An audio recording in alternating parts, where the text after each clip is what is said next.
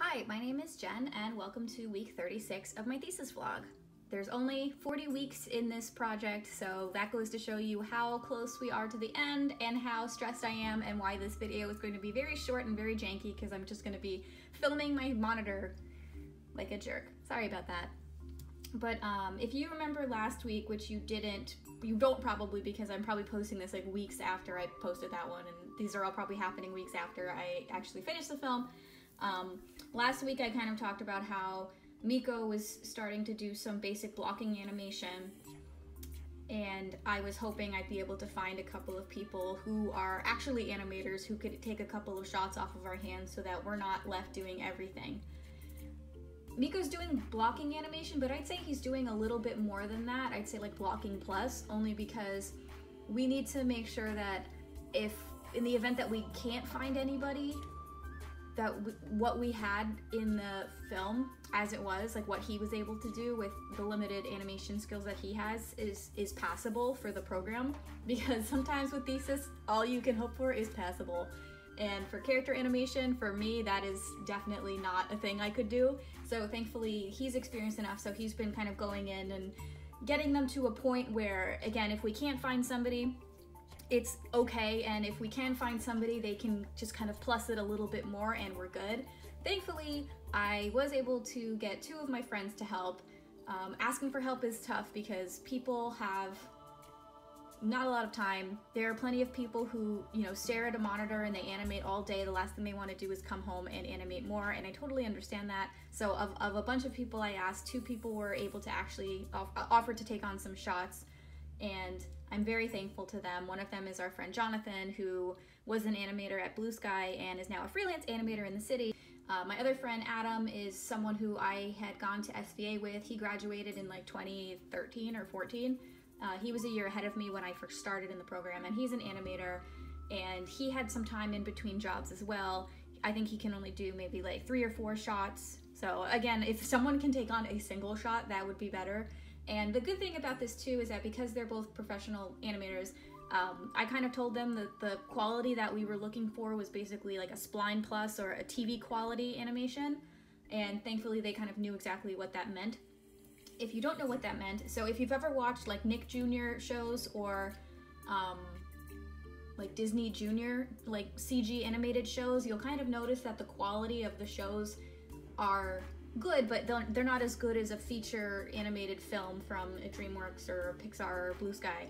And the reason for that is because the compact schedule of, of TV animation production, it, it's crazier, it's so much more condensed in the four years that it takes us to make a, a feature.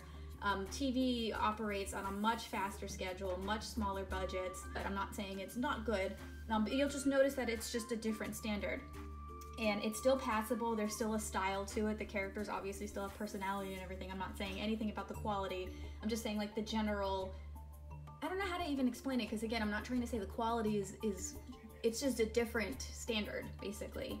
Um, and that's what I'm looking for here because we, again, we don't have time to put in for you know feature level quality character animation. I would love that, and I'm sure some shots are going to get that because I think Jonathan is somebody who probably would want to do that. Also, because it's exciting for an animator when it's like a brand new character and a new rig that no one else has ever played with, and you really get to, to like set the tone for the character's performance and everything. So I'm sure he'll pull some really cool uh, performances out of the character anyway.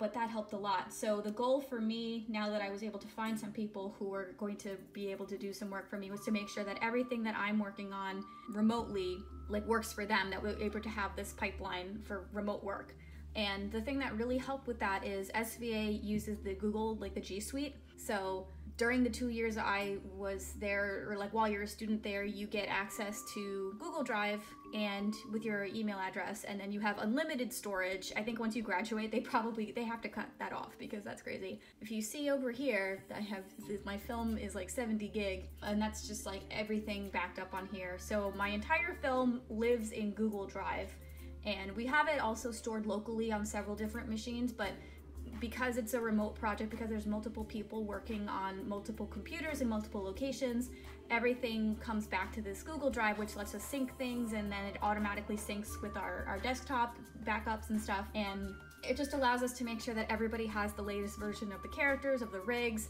the latest versions of the shots as we move from previs and you know to layout and then we assembly and we added the props and then we started adding textures to the props and the, you know the animation and the lighting and you know the whole the whole shebang. And to do that we had to just basically make sure that it was good for the remote guys. So when i basically like had to onboard a new person onto the, the project um, i would send them an email and it would basically give them like a set of instructions. I would share the whole project with them, and it was basically like, here are the folders that you need, and we kind of just made sure that those folders had everything that they needed. So the main ones, of course, were what can I find? Oh, assets. Geez. So the characters, of course, were the important part if they are character animators. So it was making sure that they had these at these four files so the the maya file like the character file for the boy and the tiger as well as the user interface for the the rigging setup that we used. Again we used like the AnimSchool like kind of like their picker engine.